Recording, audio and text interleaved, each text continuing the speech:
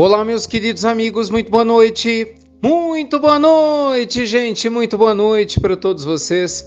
Começando com muito carinho, mais uma pílula inspiradora do bem noturna, sempre baseado, claro, aqui no nosso amado Evangelho. Muita luz e paz ao seu coração, à sua vida.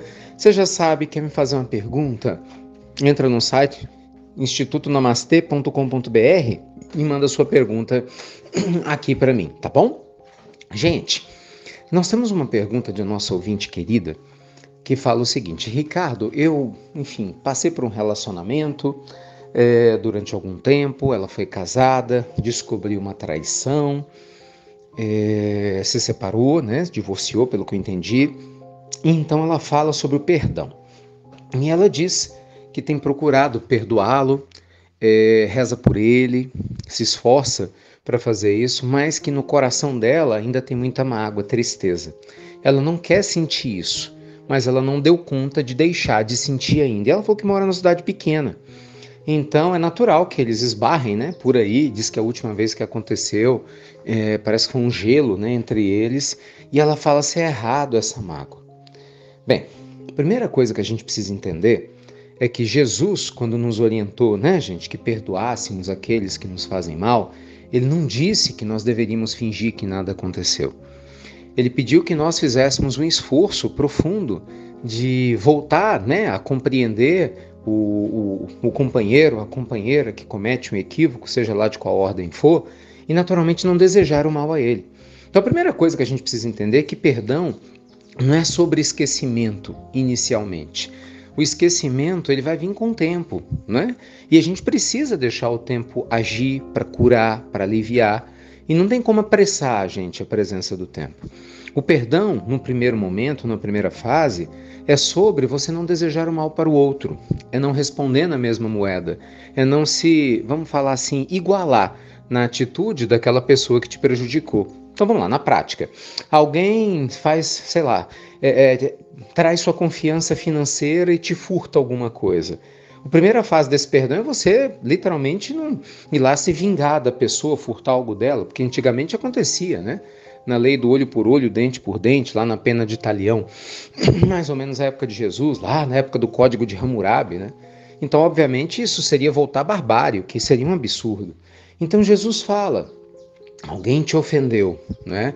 Não ofenda da mesma forma acesse a sua luz e comece a enviar luz para outra pessoa. Vale na quebra de confiança na área afetiva, financeira, em qualquer área da vida, né? Um amigo que deixou de ser seu amigo, então eu acho que você está indo bem sim. Por quê? Porque apesar de a mágoa ainda existir no seu coração, você está aprendendo né, a lidar com essa situação nova, você está se esforçando. Olha só, você mandou pergunta para a pílula, você está orando por ele, você está desejando que esse sentimento não exista no seu coração. Isso é uma excelente primeira fase. Mas agora é deixar o tempo agir. Né? E eu sugiro a você que se eventualmente você encontrar com ele e você não estiver pronta né, para estar ao lado dele ou conversar, que você se afaste. Você tem todo o direito de se afastar sem desejar um mal a ele. Pelo contrário, sabe? Mandando luz para ele, ainda que no seu coração haja tristeza e mágoa. Gente, deixa eu lhe dizer uma coisa. Você acha que Jesus, na hora que estava lá no alto do Gólgota, vendo aquelas pessoas, né, eh, gritarem pela morte dele, pela crucificação dele, você acha que ele estava feliz? É óbvio que não. Ele nos perdoou, mas ele não estava feliz no coração dele. Então a gente se equivoca em muitos conceitos, né?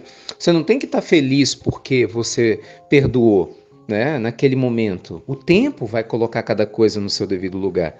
O que a gente precisa é de uma sociedade que compreenda, né? Uns aos outros e que a gente entenda que hoje nós somos a vítima de uma intriga, de uma situação negativa. Ontem nós criamos isso, né? E graças a Deus alguém nos perdoou, não nos desejou mal, não retribuiu do mesmo jeito, fazendo as coisas erradas que a gente fez, e o tempo começou a ajustar de tal forma que eventualmente hoje a gente já né, viva de uma maneira mais equilibrada, mais harmoniosa, e a gente recebe a pedrada, mas já não joga mais. Porque a gente acredite, a pior sujeira né, que chega a nós não é a sujeira que alguém joga na gente, é aquela que nós né, sujamos as nossas mãos para poder jogar nos outros. Esse é o grande problema. Então confia, eu sei que está doendo um pouquinho, mas com a graça de Deus, e eu estou vendo que você tem muito amor no seu coração, muito em breve você vai superar tudo isso e vai servir para você crescer espiritualmente e poder também ser um exemplo para outras amigas, amigos, né, pessoas que, bem ou mal, né, ainda acabam passando por situações semelhantes. Tá bem? E obrigado por abrir seu coração com a gente aqui na Pílula. Gente, um beijo enorme no coração de vocês. E só lembrando, hoje é sexta-noite, nós temos a nossa aula de acompanhamento dos alunos do coach financeiro. Se você é um dos nossos alunos, estamos te aguardando daqui a pouquinho, hein? Às 8 horas da noite, nesse encontro exclusivo para vocês. Um beijo grande, muito obrigado por compartilhar as pílulas inspiradoras do bem noturnas. Até breve, meus amigos. Até muito, muito breve. thank you